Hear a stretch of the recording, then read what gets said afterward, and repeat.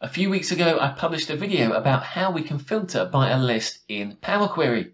Now, it didn't take long until somebody asked, can we do the same using the filter function in Excel? And the answer is yes. So in this video, we're looking at how we can use the filter function in Excel to filter by a list. So if you're ready, let's get started. Here in Excel, we have the example data that we're using for this video. We have our table of data. We then have the list that we want to filter by. Below that, we have a second list, and we'll be using this later on in the video to show that we can filter by multiple lists. Our goal is to display our data, but only include those items which are in our item list.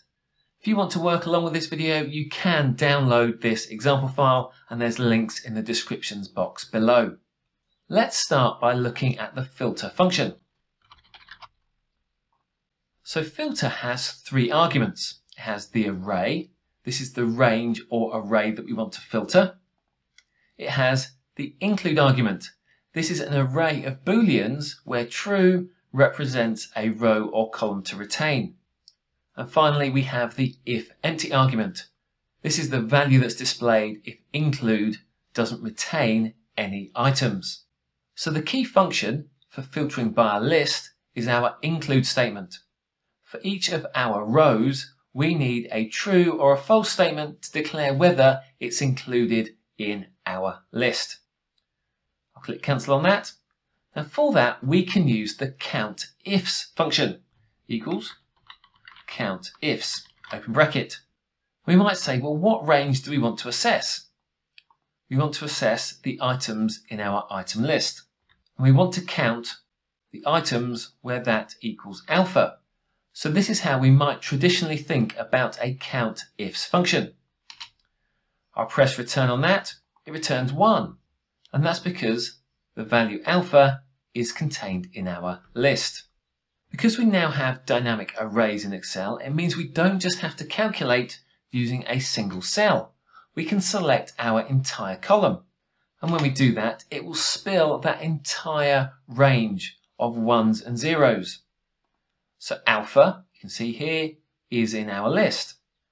Bravo, Charlie and Delta are not in the list, therefore they have returned zero. The next item, Echo, is in the list, so has returned one. So that means that every value which is in that list returns one, every value that's not in the list returns zero. Now in Excel, zero and false are viewed as the same thing. 0 is deemed to be equal to false, and any other positive number is deemed to be true. So that means this count ifs statement has created this true and false value that we need. So let's wrap our filter function around this. Filter, our array is going to be our full data set. The count ifs is now our include statement. And then if there's nothing to return, We'll enter no values. Fantastic, we now just have alpha and echo in our output array. If we add a new item to the list, delta for example, that now means that alpha, delta and echo are all returned by the filter function. Let's delete delta and then close up the table. And that's it. That's a simple way that we can filter by a list inside Excel using the filter function. At the moment, we've filtered on a single list, but I know that someone's thinking, is it possible to filter based on multiple lists? And the answer is yes. I'm going to place some brackets around our count ifs function. And then within that bracket, we're going to enter multiply and then enter a new count ifs function. Next, we'll apply the same principles. So from our region list, we'll compare that to the region column. We'll then close the count ifs value. When I press return, you can see that it only returns the items which are alpha and echo, which are also in north or east. And they are declared in the lists. Let's add a new item to the region list. Central And here you can see the array has expanded.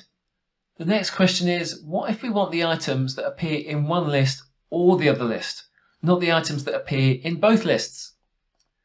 To do that, we change our multiplication symbol for a plus symbol.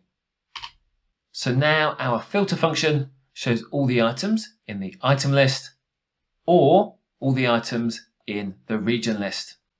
And that's it. That's how we can filter by a list or multiple lists in Excel using the filter function. If you like this video, don't forget to subscribe and I'll catch you next time.